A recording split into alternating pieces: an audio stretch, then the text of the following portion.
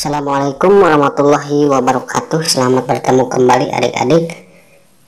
Masih pada pembahasan bab 1 kita ya Yaitu tentang manusia, tempat, dan lingkungan. Setelah pada pertemuan yang lalu eh, Kita membahas tentang pengertian ruang dan interaksi antar ruang. Kesempatan kali ini kita akan membahas tentang letak dan luas Indonesia.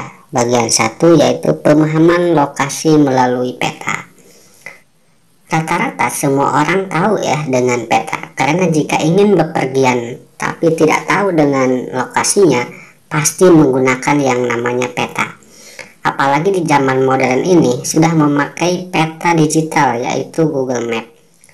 Peta adalah sebuah gambaran permukaan bumi pada bidang datar dengan skala tertentu melalui sebuah sistem proyeksi. Peta dapat disajikan dalam berbagai cara yang berbeda mulai dari peta konvensional yang tercetak hingga peta digital yang tampil di layar komputer. Istilah peta berasal dari bahasa Yunani, mapa, yang artinya taplak atau kain penutup meja. Tapi secara umum, pengertian peta yaitu sebuah lembaran seluruh atau sebagian permukaan bumi pada bidang datar yang diperkecil dengan memakai skala tertentu. Suatu peta merupakan representasi dua dimensi dari suatu ruang tiga dimensi. Ilmu yang mempelajari pembuatan peta disebut dengan kartografi. Banyak peta memiliki skala yang menentukan seberapa besar objek pada peta dalam keadaan yang sebenarnya. Kumpulan dari beberapa peta kita sebut dengan atlas. Menurut Erwin Rais, Peta adalah gambaran konvensional permukaan bumi yang diperkecil dengan berbagai kenampakan dan ditambah tulisan-tulisan sebagai tanda pengenal.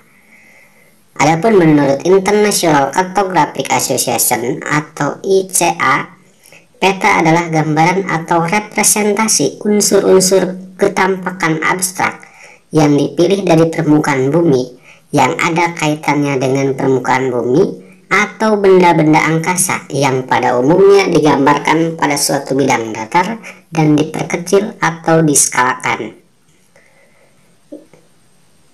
Fungsi peta secara umum, fungsi peta yaitu sebagai berikut. Misalkan satu, berfungsi untuk menunjukkan posisi atau lokasi suatu tempat di permukaan bumi.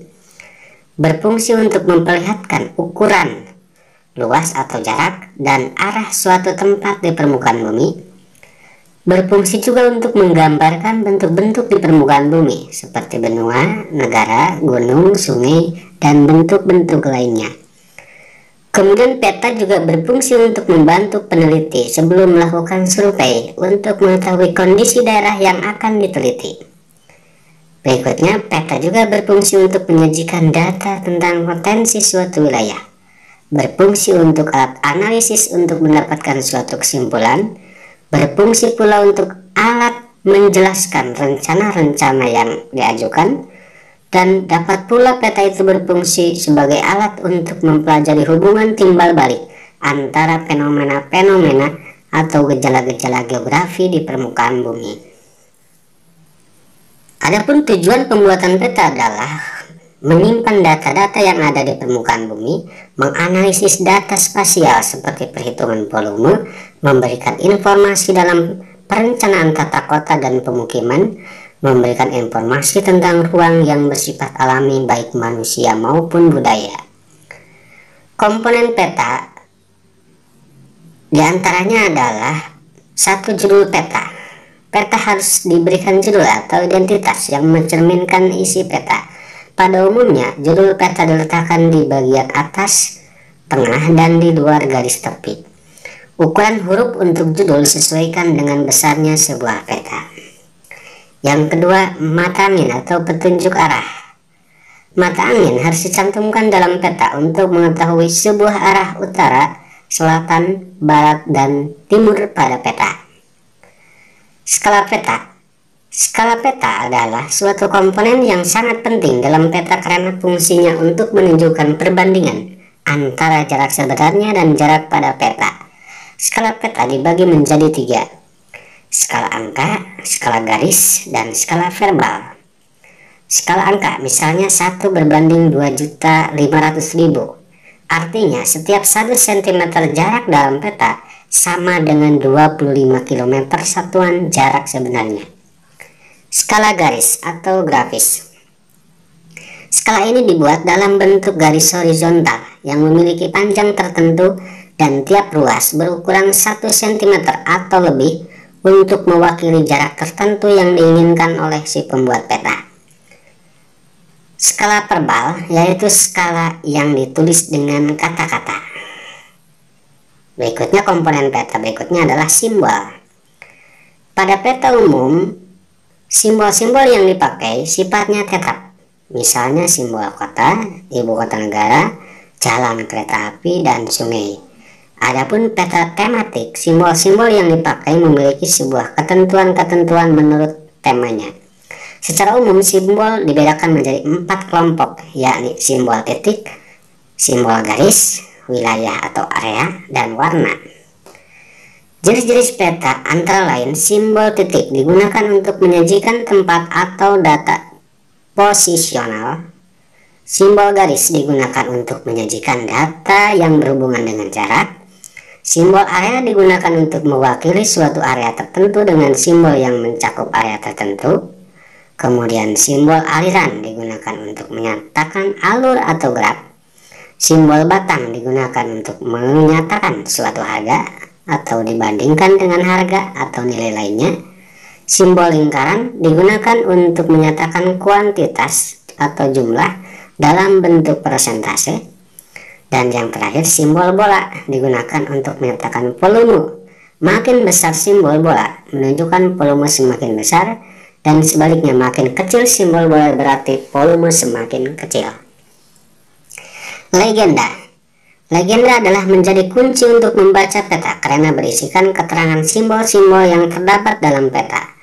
Legenda biasanya diletakkan di bagian kiri atau kanan peta di sebelah dalam garis tepi. Dan yang keenam, warna peta. Warna peta digunakan untuk membedakan kenampakan atau objek yang ada di permukaan bumi, memberi kualitas atau kuantitas simbol di peta. Dan untuk keperluan estetika peta, warna simbol dalam peta terdiri dari 8 warna, yaitu warna hijau, menunjukkan suatu daerah yang memiliki ketinggian kurang dari 200 meter. Warna merah Warna merah menunjukkan jalan kereta api atau gunung aktif. Warna merah sering dijumpai di peta suatu provinsi ya. Warna hijau muda menunjukkan suatu daerah yang memiliki ketinggian antara 200 sampai 400 meter di atas permukaan laut. Kemudian warna kuning. Warna kuning menunjukkan suatu daerah yang memiliki ketinggian antara 500 sampai 1000 meter di atas permukaan laut.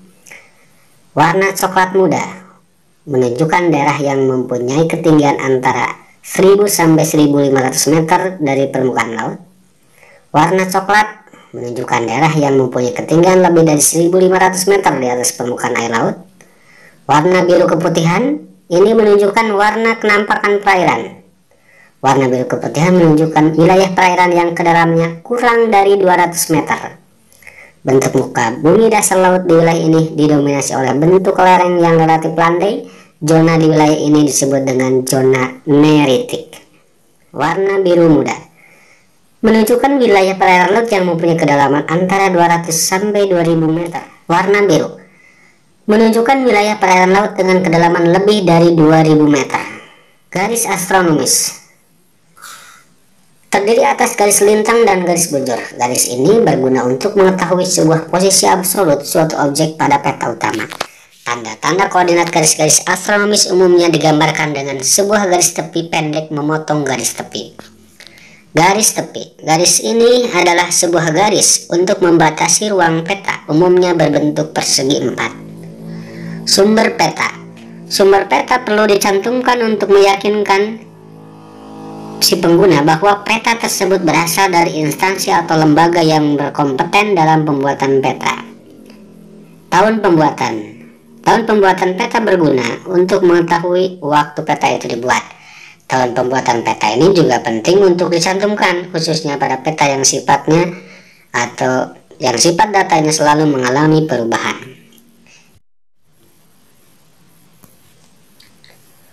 Berikutnya 11. Inset adalah peta kecil yang disisipkan di peta utama.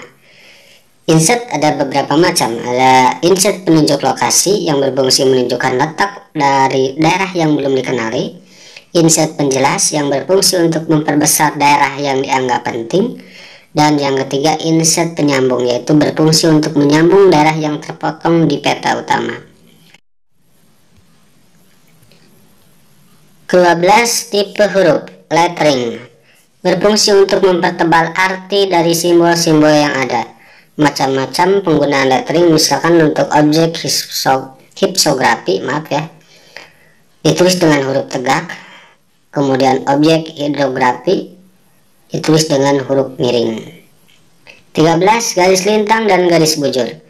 Garis lintang adalah garis yang melintang dari arah barat ke timur atau dari timur ke barat. Garis bujur adalah garis yang membujur dari arah utara ke selatan atau selatan utara. Baiklah, materi kali ini dicukupkan sekian dahulu. Mudah-mudahan ini memberikan manfaat untuk adik-adik. Terima kasih. Wassalamualaikum warahmatullahi wabarakatuh.